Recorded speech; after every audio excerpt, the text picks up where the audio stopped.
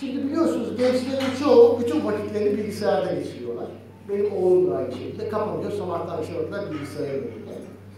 Tabii bilgisayar şirketleri de bu çocuklardan daha fazla nasıl para kazanırız diye buna bakıyorlar. Bu bilgisayarların yaptığı başka bir şey de tabii artık insanlar veya gençler diyelim, insani ilişkiye fazla önem vermiyorlar burada olduğumuz gibi.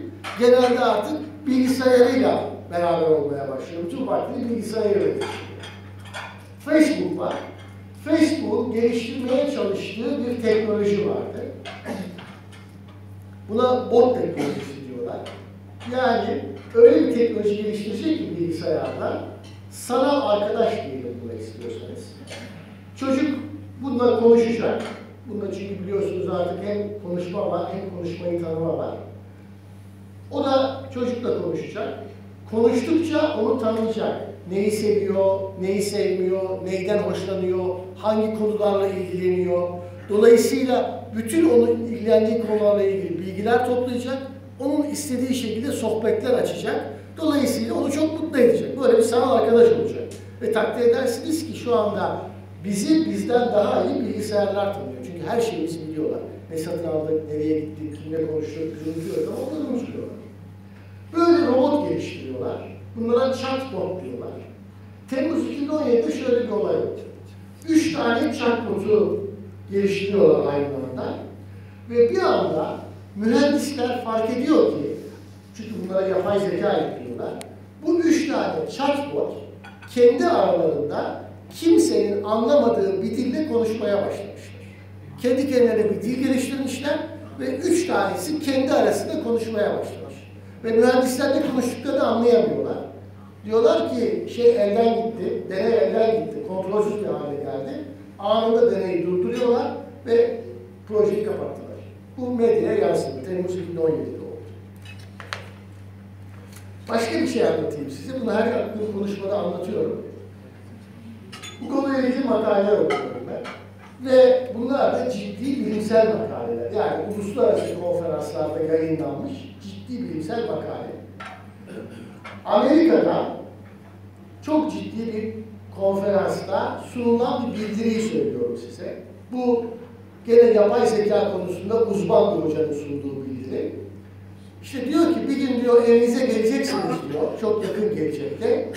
Bir bakacaksınız diyor, buzdolabınız çalışmıyor. Fırınınız da bozulmuş. Ya diyeceksiniz ne oldu bizim buzdolabıyla fırına? Ondan sonra diyor anlayacaksınız ki buzdolabınız fırınınıza aşık olmuş. Fırın bu aşka karşılık vermediğinden dolayı buzdolabı depresyona girmiş. Bu anlattığım hikaye değil. İlmi yazı. Çünkü şunu anlatmaya çalışıyor. İnsanlarla makinaları şu anda birbirinden ayıran en önemli özellik insanlarda his var. Canlı olduğumuzdan dolayı makinalarda yok. Ama bu kendi kendine öğrenme meselesi, çünkü makineye bir şeyi programlamıyorsunuz. Makine kendi kendine öğrenmeye başlıyor. Acaba bir noktadan sonra şuuru ve de şuura bağlı olarak da duyguyu getirebilir mi? Ki zaten bu biraz evvel anlattığım Facebook meselesinden sonra da Amerika'da çok ciddi bir iş ve bu işle uğraşanlar arasında çok ciddi bir akım başladı. Yapay zekaya karşı olmak. Çünkü diyorlar ki yapay zeka öyle bir şey ki kötü insanların eline düşerse insanlar çok büyük zarar verebilir. Bununla ilgili bir video göstereceğim size birazdan. Veya bu iş çok ileriye giderse makinelerle insanlar arasında problem çıkabilir. Ve eğer böyle bir problem çıkarsa da kazanan makineler olur. Bununla ilgili bir yarım filmler var zaten biliyorsunuz. Tabii bu gibi şeyleri, yani bu Endüstri 4.0'ın getirdiği nimetleri insanları manipüle etmek için de kullanıyorlar. Çünkü biraz evvel dediğim, sizin bütün bilgileriniz bilindiğinden dolayı sizi sizden iyi tanıyorlar. Belki takip ettiniz, belki takip etmediniz. Hem İngiltere'deki Brexit seçiminde, yani İngiltere'nin e, şeyden ayrılması, Avrupa Birliği'ne ayrılması seçildi. Hem de Trump'ın seçildiği ve Amerika Birleşik Devletleri başkanlık seçiminde seçmenlerin bu şekilde manipüle edildiği ortaya çıktı. Bunu yapan da İngiltere'deki bir araştırma şirketi Cambridge Analytics diye. şekilde yapıyor. Şimdi bu Facebook'tan, Google'dan ve bütün bizim kullandığımız application'lardan habire bizim hakkımızda data alıyor. Neyi severiz, neyi sevmeyiz, neye karşı hassasız, evli miyiz, bekar mıyız? Her şeyi biliyorlar. Cambridge Analytics bu dataları alıyor, süzüyor ve her tür insan için, tabi satıyorum burada, neyden hoşlanıyorsa onunla ilgili mesaj gönderiyorlar. Mesela diyelim Trump'ın seçmenleri var.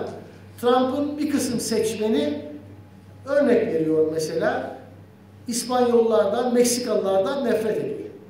Onlara giden tüm Trump'ın el broşürlerinde, e-maillerinde, propagandasında işte ben gelince Meksikalıları kovacağım, Meksikalıları istemiyorum gibi şeyler gidiyor. Bir başka insanlar da diyelim ki Meksikalıları çok seviyor. Gene Trump'ın seçim bürosunda onlara giden tüm malzemede biz Meksikalıları severiz, aslan Meksikalılar, bizlere çok katkısı var diye mesajlar gidiyor. Böylece kim neyi istiyorsa, neyi hoşlanıyorsa ona uygun mesaj veriyor. Ve bu şekilde de bütün seçmenleri manipüle ettikleri ortaya çıkıyor. Şimdi size dört tane video göstereceğim veya üç tane ve ondan sonra da konuşmamı bitireceğim.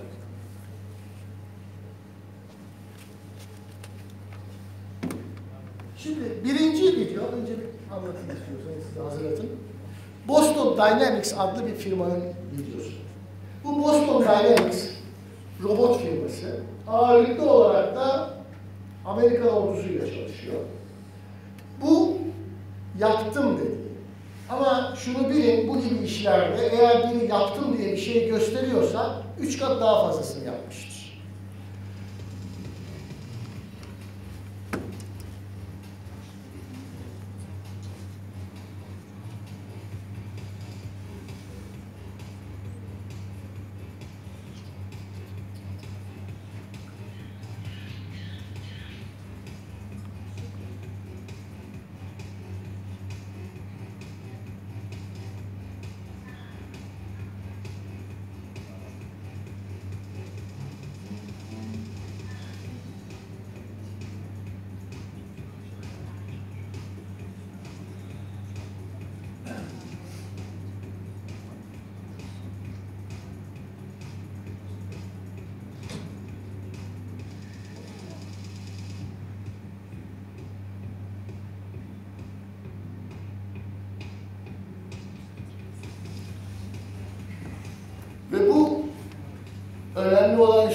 Parkuru geçerken bu robot programlanmış değil.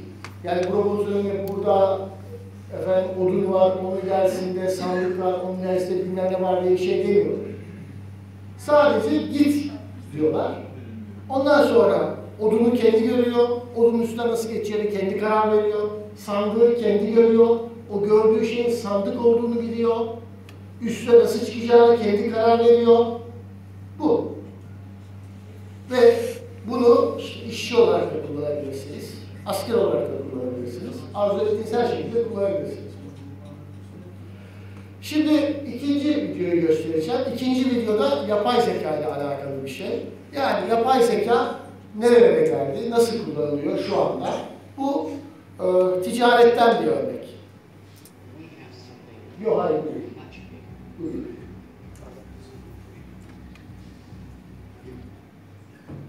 Evet, yapay zeka. Merhaba ben Mesut Çelik, Domaben.com olarak Amerika Birleşik Devletleri Seattle şehrindeyiz. Hemen arkamda Amazon Go var. Amazon Go nedir? Amazon Go yapay zekanın işlemi Nasıl diyeceksiniz? Arkadaşlar bu markette herhangi bir kasiyer yok. Kapıdan giriyorsunuz, herhangi bir şey alıyorsunuz alacaklarınızı, çıkıp gidiyorsunuz. Ne bekleme, ne fiş, ne kredi kartınızı göstermeyin. Hiçbir şey yapmanıza gerek yok. Yapay zeka bu marketi tek başına işletiyor. İçeride çalışan da yok. Şimdi nasıl işliyor bu düzen? Hep beraber görelim isterseniz. Buyurun beraber gidelim. Şimdi girmeden önce yapmamız gereken bir şey var. O da ne? Amazon Go uygulamasını çalıştırmak. Amazon Go uygulamasını çalıştırıyorsunuz. Sizin için bir barkod üretiyor. Ve bu barkodu kasada okutup içeri girerken kapıyı okutup geçiyorsunuz.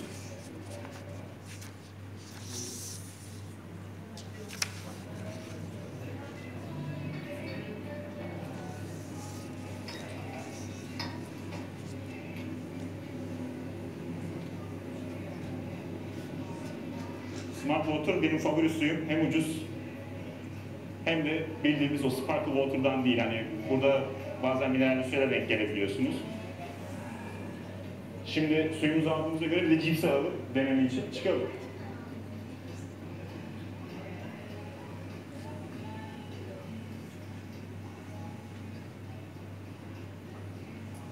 Evet, sevdiğim Lay's cipslerden. Evet. Ekstrasını namışlarından aldım. Ürün yerleştirme var gibi oldu biraz ama olsun artık. Evet alışverişimizi tamamladık. Raftan her şeyi aldım ve çıkıyorum.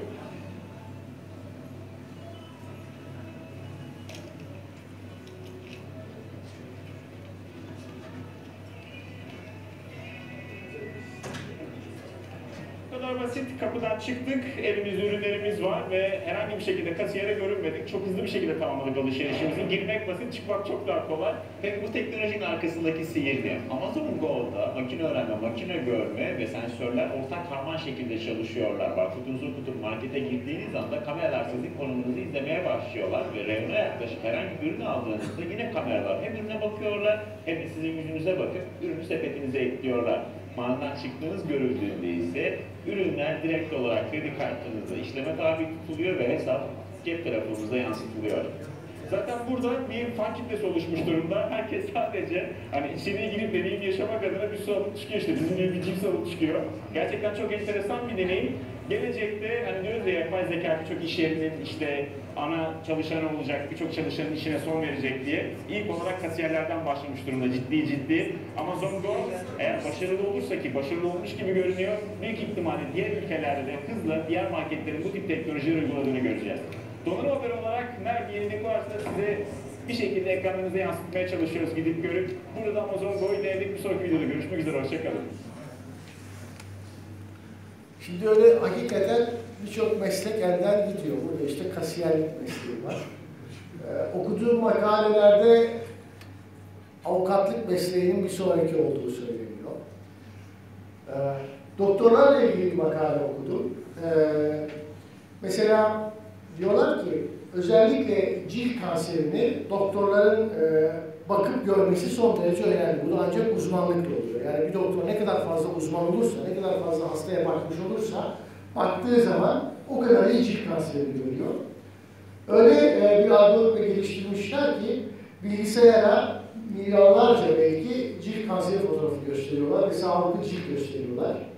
Ondan sonra tüm doktorlardan çok daha iyi bir şekilde fotoğrafı çekildiği zaman bilgisayar kanser olup olmadığını söyleyebiliyor. Sadece fotoğrafını çekiyorsun.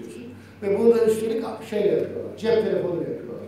Cep telefonuyla fotoğrafı çekiyor, fotoğrafı gönderiyor ve bilgisayar tüm doktorlardan, en uzman doktorlardan biri çok daha iyi bir şekilde cevap veriyor. Kanser mi yoksa normal bildiğiniz bir ben mi? Şimdi bu tabii e, yapay zekanın iyi kullanımlarından bir tanesi. Fakat e, biraz evvel de bahsettim.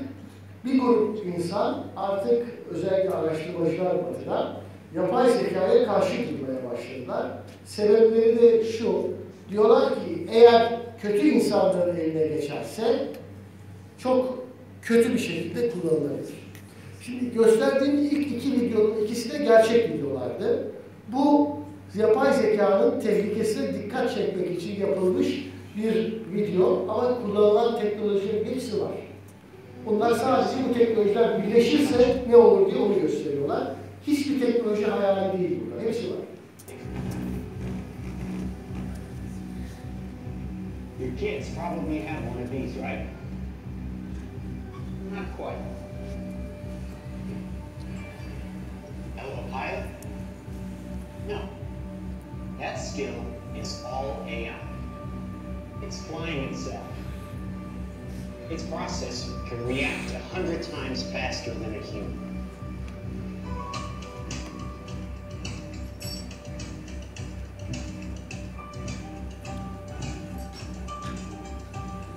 The stochastic motion is an anti-sniper feature.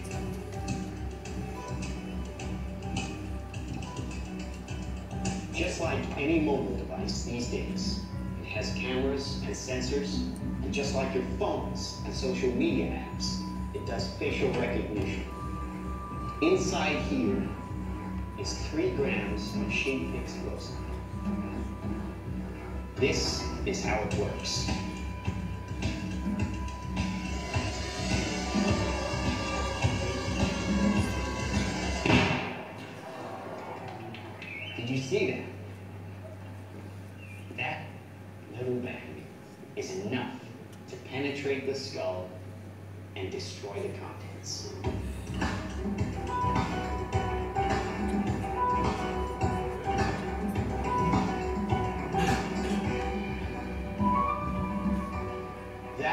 An airstrike of surgical precision.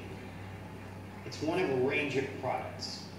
Trained as a team, they can penetrate buildings, cars, trains, evade people, bullets, pretty much any countermeasure. They cannot be stopped. Now, I said this was big. Why? Because we are thinking big. Watch. $25 million order now buys this. Enough to kill half a city. The bad half. Nuclear is obsolete. Take out your entire enemy, virtually risk-free. Just characterize him, release the swarm, and rest easy.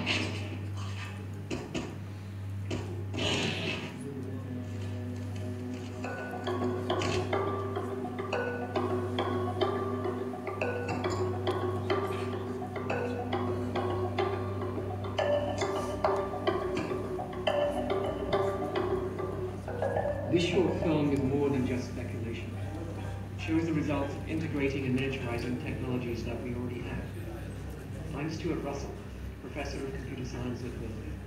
I've worked in AI for more than 35 years. Its potential to benefit humanity is enormous, even in defense. Allowing machines to choose to kill humans will be devastating to our security and freedom. Thousands of my fellow researchers agree. We have an opportunity to prevent the future you just saw, but the window to act is closing fast.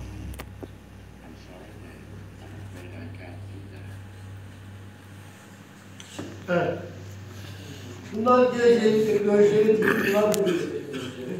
Var bunların hepsi bu. Biz Türkiye olarak iyi tarafları var, kötü tarafları var. Hepsini gördük. Ama önemli olan şu, eğer biz Türkiye olarak rekabet etmek istiyorsak, dünya üzerinde söz sahibi olmak istiyorsak, hep başkalarının bize dayattığı şekilde, dayattığı şartlarda değil de kendimiz de bir şeyler söyleyebilmek, bir iddia sahibi olmak istiyorsak mutlaka ama mutlaka bu teknolojilere bizim yatırım yapmamız lazım. Bu teknoloji çalışmamız lazım. Dediğim gibi elbette araba fabrikamız da olsun, uçak fabrikamız da olsun, tank da yapalım, bunların hepsini yapalım. Tekstil fabrikamız da olsun, demir çeliğimiz de olsun, bunların hepsi olsun. Ama eğer biraz evvel gördüklerimiz olmazsa, ki bunları da kimse size vermez, ne ekonomik olarak bir noktaya gelebiliriz, ne politik olarak bir noktaya gelebiliriz, ne de askeri olarak bir noktaya gelebiliriz. Peki,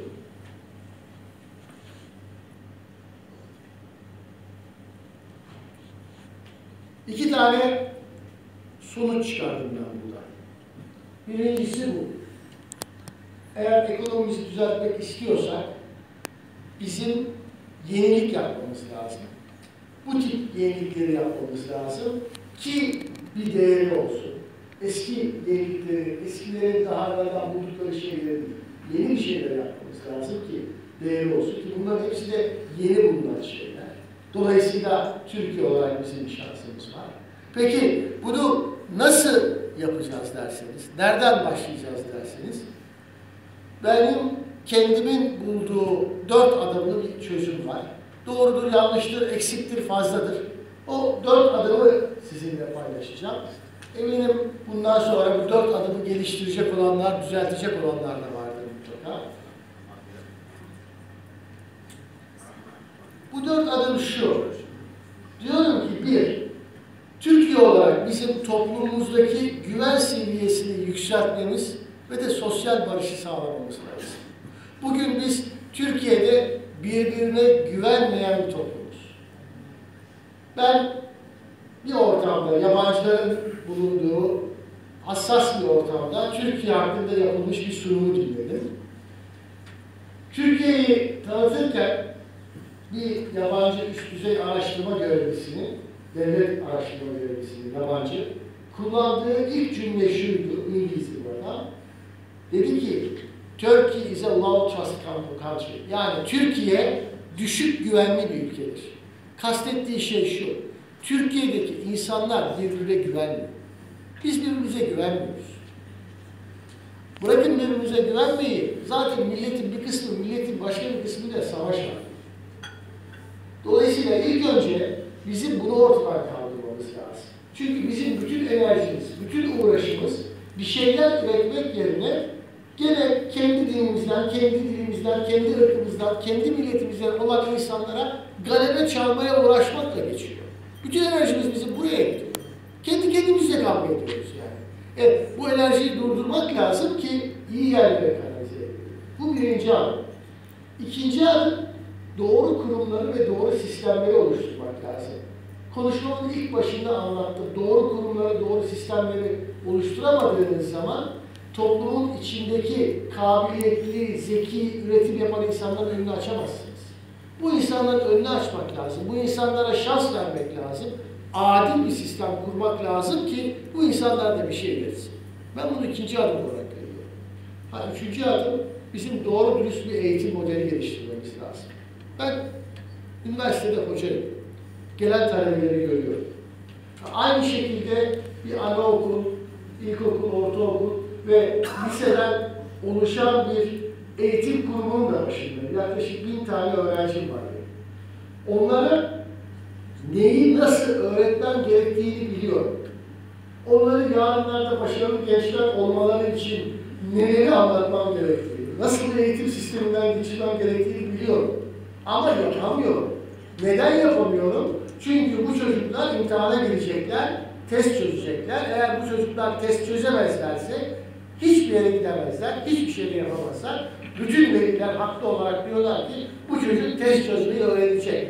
Ama sen çocuğu sırf test çözmeye uygun yetiştirdiğin zaman o çocuk ne düşünmeyi öğreniyor, ne akıl etmeyi öğreniyor, ne kendi kendini ifade etmeyi öğreniyor, ne yenilik yapmayı öğreniyor, hiçbir şey öğrenmiyor.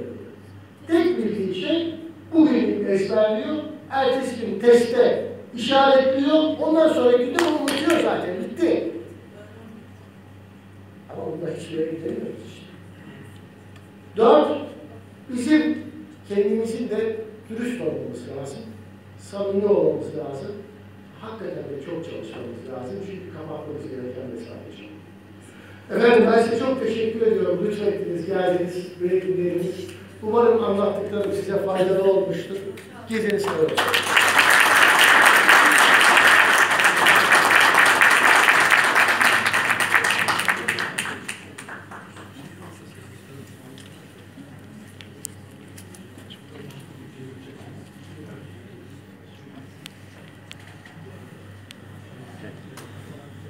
Başkanımızı bırakmıyoruz.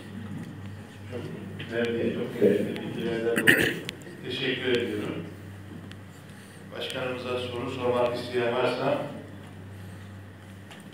sorabilir.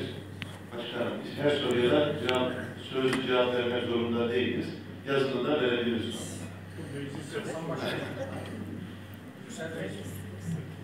Buyurun efendim. Affedersiniz. Başka sistem olarak bütün soruları alıp Toptan mı cevap veriyoruz? Tek tek. Peki. Sunumunuz için çok teşekkür ederim. Ee, şimdi tarihte e, yaşamış bazı düşünürler hem biraz katkı olsun e, maliyetinde hem de biraz konuyu biraz daha ufuk açıcı olarak değerlendirme açısından. Şimdi tarihte yaşamış bir tane e, düşünür var, Max Weber. E, şu mevcut ekonomik düzenin büyük çoğunluğunu kuramadan aslında Max Weber'in düşünceleri, ona yakın Weberian düşünceler. Yalnız Endüstri 4.0 buna tam dahil değil. O biraz daha farklı. Ee, Max Weber aynı zamanda diyor ki, yani kapitalist sistem, yani mevcut olarak kurulmuş kapitalist sistem, ee, Batı ve Hristiyan topluluklar için uygun. Ama e, ne Afrika için, ne Çin için, ne de İslamiyet için uygun değil. Bu konudaki görüşümüz nedir? Yani başka bir sistem mi geliştirmemiz lazım? Yani kapitalist sistem ya da İslamiyet'e uygun bir kapitalist sistem mi geliştirmemiz lazım? Böyle bir soru. Bir de e, sizin son e, slaytınızda açıkladığınız e, kısma bir anekdot sunmak istiyorum. Ee, Ulu Önder Atatürk bir sözü var. Türk öğün çalış güven. Ee, ben yani Türk milletinde bu özelliklerin çok fazla bulunmadığını ve nükte olsun diye bu noktaya parmak bastığını düşünüyorum Ulu Önder'in. Yani ufuk açıcı olması açısından. Peki, teşekkür ederim. Şimdi efendim e, isminiz neydi?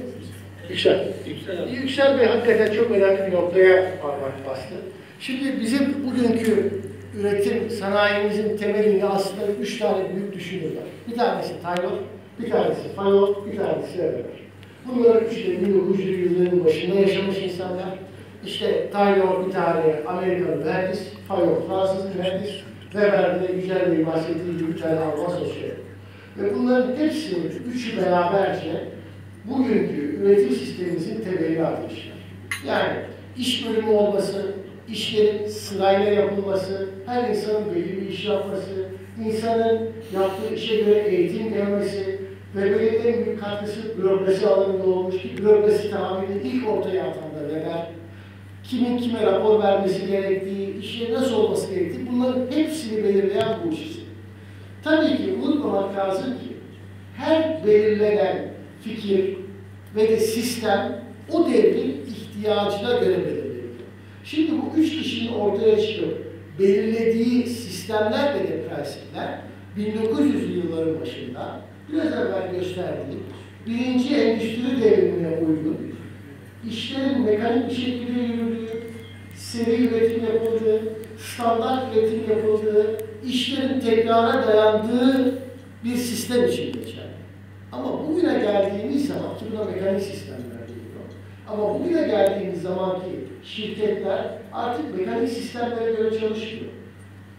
Birinci ve ikinci sanayi devrimi şirketleri, yani fabrikalar, atölyeler, büyük devlet gibi bürokratik yapılar bu sisteme göre çalışıyor. Yani Weber'in bürokrasisine göre çalışıyor. Doğrusu da bu. Ama üçüncü ve dördüncü sanayi devrimi şirketlerini siz bürokrasiyle çalıştıramazsınız. Şimdi Weber ne diyor veya Tayyip?